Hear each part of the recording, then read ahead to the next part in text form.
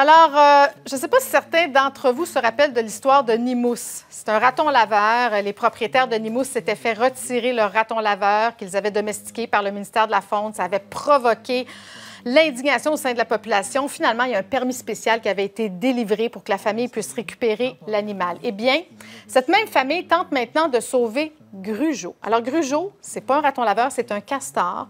Castor euh, qui est amputé d'une patte. Euh, Jacques Lessard du Centre Refuge Nimous est avec nous au bout du fil. Comment avez-vous trouvé euh, Grugeot, Monsieur Lessard? Bonsoir, madame. Bonsoir. Grugeot, ça, ben, ça l'a fait les manchettes c'est un, un, un castor qui a été pris dans un piège euh, dans un parc public au parc Belle-Rive à Montréal. Euh, de façon aussi indécente et euh, aussi depuis quelques jours, même avant l'ouverture de la trappe officielle, qui est encore une activité au Québec, malgré qu'on est en 2020, là, mais c'est ça. Il y a certaines municipalités même qui payent des exterminateurs pour déloger des animaux qu'ils qui considèrent indésirables.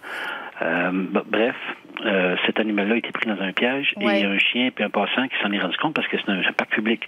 Et on a un partenaire qui est affairé à justement à récupérer les animaux en difficulté et euh, ils sont allés pour le récupérer et la patte était dans le piège mm. et puis on ne savait pas depuis combien de jours puis on, on leur a indiqué de quoi faire et ne pas faire et nous l'amener ici immédiatement parce qu'il risquait soit une, hémorragie ou qu'on ne voulait pas prendre de chance. On était assisté par notre vétérinaire euh, via téléphone.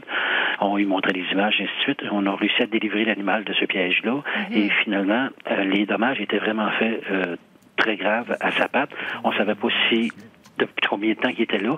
Bref, on l'a emmené dans un on a réussi à négocier puis pour pour avoir un hôpital vétérinaire qui puisse s'en occuper, une intervention chirurgicale euh, très délicate et la vasculaire vascularisation des vaisseaux sanguins ne s'était pas faite assez. Donc, il a perdu, sa patte a fini par sécher. Euh, on l'a, nous, on l'avait ici, on le traitait super bien, il fallait lui donner des antibiotiques, ainsi de suite. Mais c'est ça. Fait que ça, au final, il a fallu y amputer la patte. Quatrième voyage à Montréal chez les vétérinaires. Jacques Lessard, euh, c'est tout le temps qu'on a, malheureusement, et maintenant, on menace d'euthanasier Grugeot.